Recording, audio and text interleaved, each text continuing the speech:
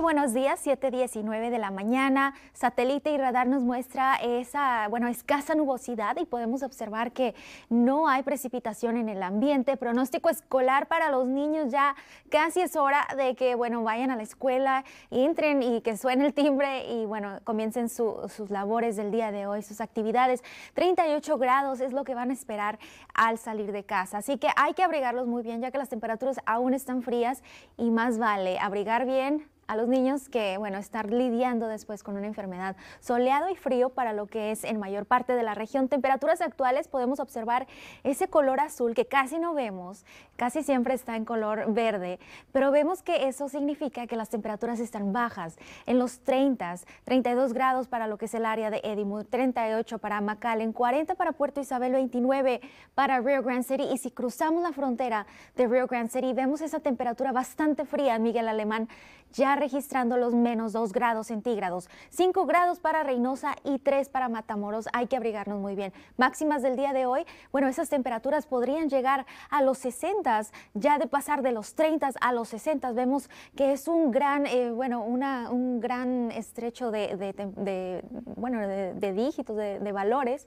ya que alcanzaremos es casi los 70 grados, cielo soleado. Eso sí, vamos a tener un día con cielo mayormente soleado. Esta noche, de nuevo, de descienden esas temperaturas a los 37 grados en Rio Grande City, en los bajos 40 para mayor parte de la región, 50 grados para la Isla del Padre, 6 grados en Reynosa y 7 para Matamoros. Vientos y ráfagas, eso sí también es un cambio totalmente diferente a lo que estuvimos sintiendo el día de ayer. Ayer tuvimos esos ventarrones con ráfagas de, viento llegando hasta los 35 millas por hora.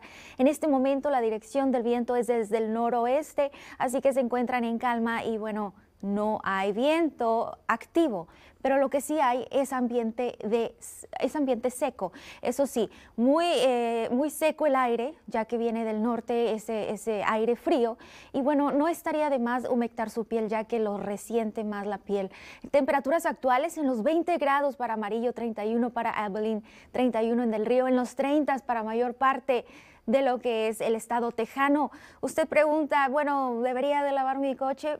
Yo digo que sí, las probabilidades de precipitación para los próximos siete días son muy mínimas, sino que escasas. Próximos eventos le invito este fin de semana a lo que es Charro Days en Brownsville. El desfile de la Guardia de Color empieza a las 12.30 del mediodía y el desfile internacional a la 1 de la tarde. Las temperaturas en pantalla 74 grados a las 2 de la tarde y al finalizar, bueno, el evento 76 grados, cielo mayormente soleado, temperatura 66 grados, la máxima del día de hoy, cielo soleado para mayor parte de la semana, 75 grados para lo que es el viernes, 42 amaneciendo el viernes, sábado amaneciendo en los 48 grados, máxima de 78 y vemos como ya para el fin de semana recuperamos esa temperatura de los 83 grados y luego ya el lunes 86, 94 para el martes, así que vienen temperaturas muy frías para la próxima semana. Mientras tanto, el día de hoy hay que abrigar muy bien. Ana Paulina Marín, vamos contigo.